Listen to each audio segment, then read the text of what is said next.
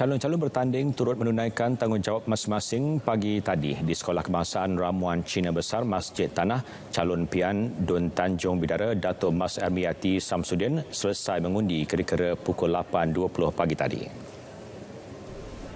Datuk Mas Ermiati yang merupakan anak jati Masjid Tanah mengundi di saluran 3 dan menjadi pemilih kedua yang hadir di pusat pengundian ini. Pemilih mematuhi SOP yang ditetapkan dan kelihatan petugas klinik kesihatan Bukit Cina lengkap berpakaian PPE untuk melakukan sanitasi setiap 2 jam.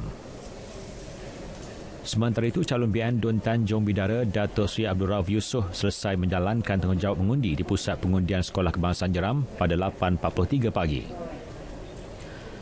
Calon BN Don Lendu Datuk Sri Sulaiman Mat Ali pula hadir mengundi di Sekolah Kebangsaan Durian Daun pada pukul 8.40 pagi tadi. Beliau hadir bersama isteri Datin Sri Munira M. Yusof. Pengurusi Pej Melaka Adli Zahari menunaikan tanggungjawab di Sekolah Kebangsaan Durian Tunggal pada pukul 8.05 minit pagi.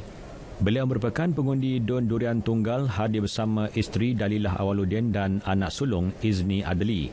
PRU Don Melaka ke-15 Adli bertanding bagi kerusi Don Bukit Katil.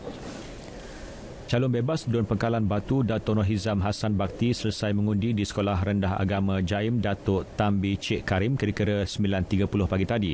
Beliau tiba di pusat mengundi ini dengan menaiki motosikal kira-kira 9 pagi dan menunaikan tanggungjawab di saluran 3.